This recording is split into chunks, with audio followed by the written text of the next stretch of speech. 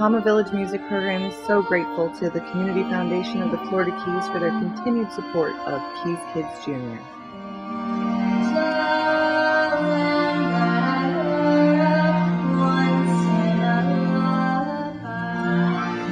Keys Kids Jr. produces a full-scale musical theater production with artistic students from our community. Since 2017, we've produced 101 Dalmatians, Bye Bye Birdie, Mary Poppins, and The Wizard of Oz.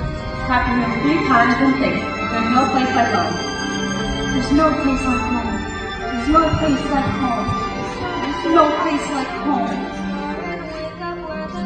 Over 50 creative students are involved in all aspects of the production, and thanks to the Community Foundation of the Florida Keys, we are excited to start planning for the 2020-2021 school year.